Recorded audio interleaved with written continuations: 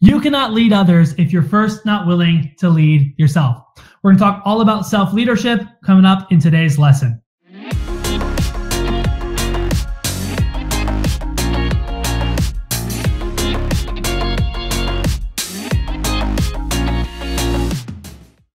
All right, welcome everybody to today's lesson. Today we're going to be talking and breaking down uh, the practice of self leadership and ultimately why it matters.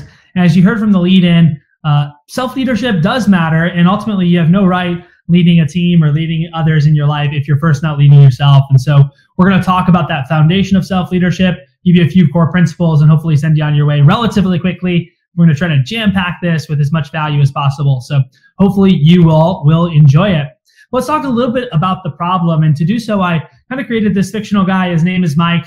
Uh, just to give you a little sense of who Mike is, Mike wants to be successful in life but he finds himself more inconsistent than ultimately he'd like. He finds himself kind of setting goals for himself only to eventually give up on them. I don't know, maybe you can relate at times. Uh, he feels that he's constantly taking two steps forward and one step back.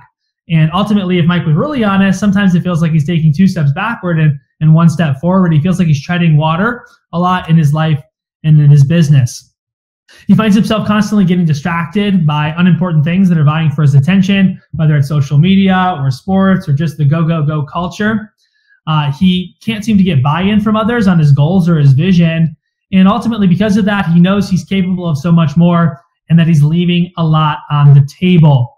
Right. So, Mike uh, knows that he's here to make a difference. He wants to be successful in life and he's got some level of success, but ultimately, he can't seem to get to that next level and he continually is giving up on his goals and finds himself inconsistent in terms of his accountability and his discipline. And so the question, of course, is what does Mike need to solve this? And what Mike needs is self leadership. And so you might ask, well, what is self leadership? We'll talk about that here next. And, and ultimately, why is self leadership important? So I, I just kind of put together this very uh, rudimentary little pyramid here on the right, explaining kind of the levels of leadership as I see it. And you can see that at the foundation of, of any leadership sort of um, person, anybody who wants to be a leader in life, uh, they have to start with leadership of self. And uh, that's because nobody is going to want to follow you if you're first not leading yourself. And ultimately, you have no right to lead even a few people, let alone many people or a cause or a culture, if you're first not leading yourself. And so that's got to be the foundation of any sort of leadership pyramid. And after somebody is leading themselves for a while and can ultimately take responsibility for their own actions, only then can they start to manage a few folks. And I would say here in this context, I'd say maybe a, a two to five people really at this sort of few level. And it's kind of dipping your toes in the water and starting to take on the responsibility of conditioning other people's uncertainty into progress, not just your own. And ultimately, that, that's when you can start to take on a couple people uh, once you've done that for a while, you can maybe graduate to, to leading a team of many pe- people. Uh, and maybe that's, you know, anywhere from five to a, to a hundred people or more.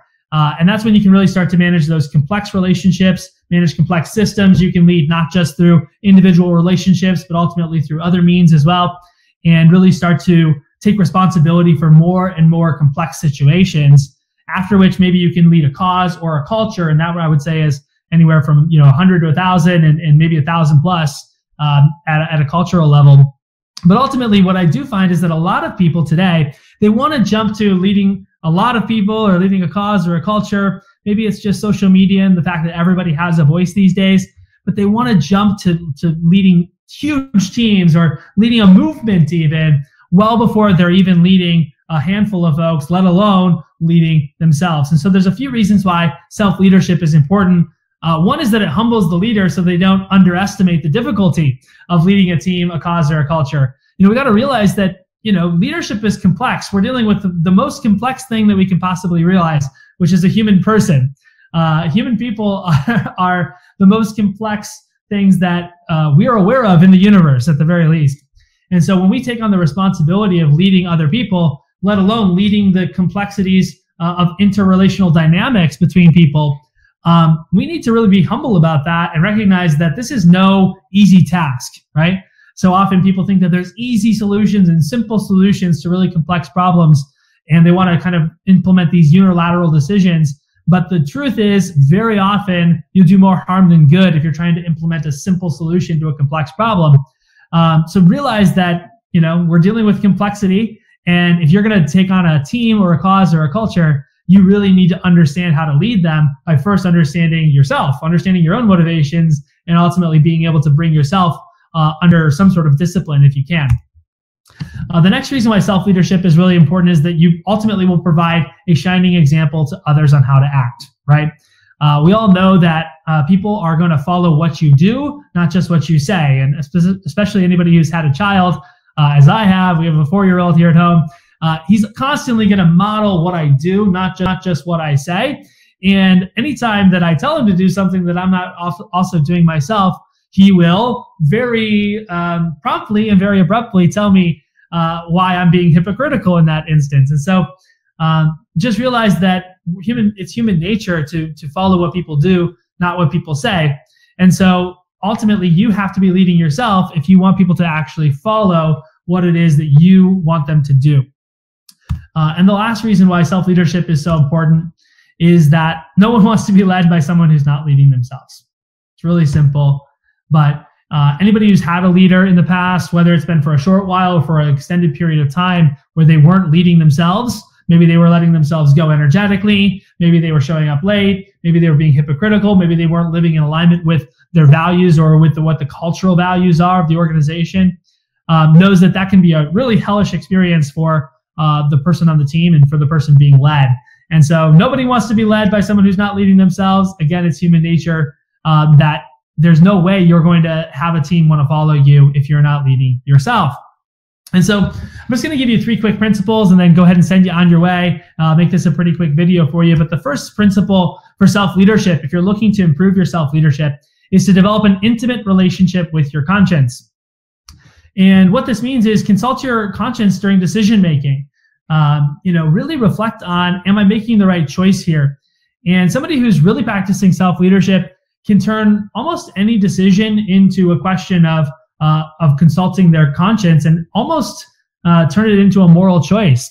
You know, if we really see ourselves as people who are here to make a difference, we really see ourselves as leaders who are here to impact our lives and the lives of others that we touch. Uh, way more decisions than maybe we realize can be considered moral decisions. You know, should I stick up, stay up late tonight, uh, or should I get to bed on time? Should I eat this or should I eat that? Should I go to the gym, gym or should I not? You know, should I really prepare my content for my team meeting tonight, or should I focus on something else, or allow myself to get distracted by YouTube or whatever? And ultimately, if we're leaders and we're here to make a difference, then those individual choices matter and they add up. And ultimately, they could be seen as moral decisions. And so we need to really be willing to consult our conscience often and be willing to listen when we get the message.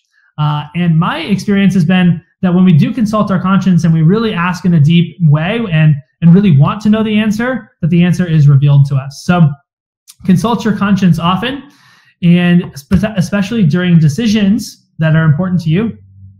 Uh, also, you know, self leaders are willing to be critical of themselves when they make mistakes.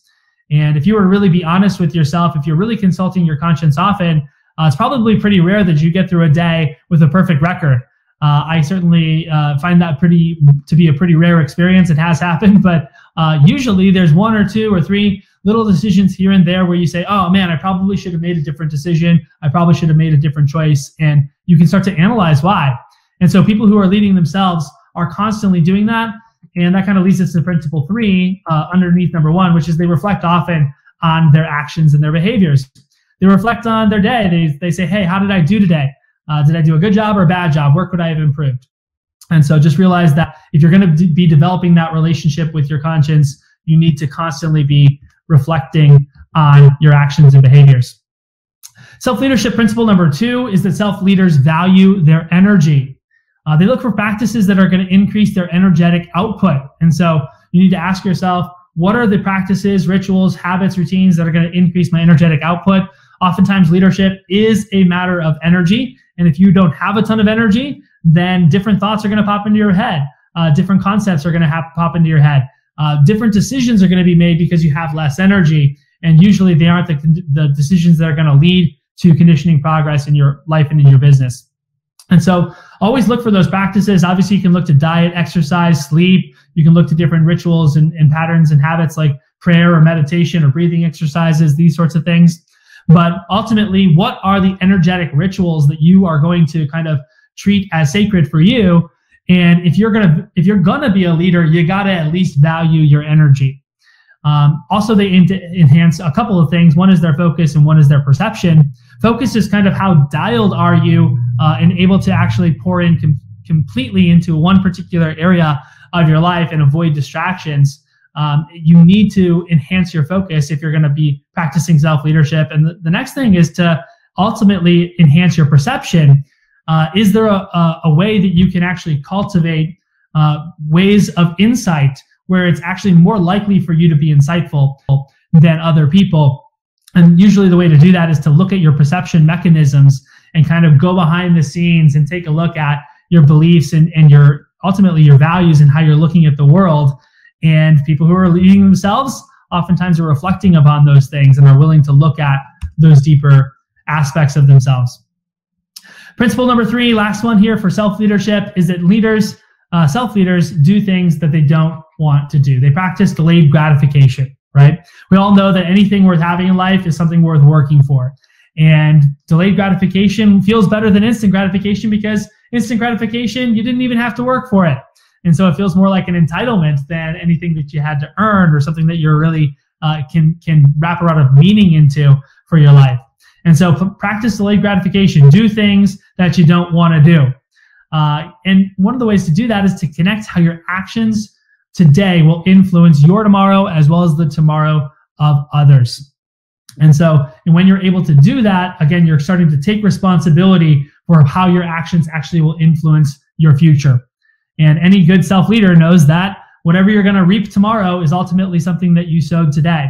And so you got to be willing to to sow those seeds. And today is the only day where you have a chance to do that.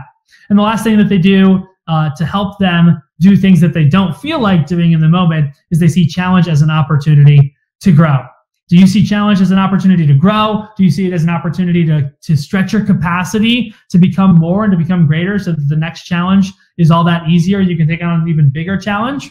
Or are you paralyzed by challenge? Do you throw your hands in the air? Do you throw a little pity party for yourself every single time you have a challenge that you face that is difficult in your life?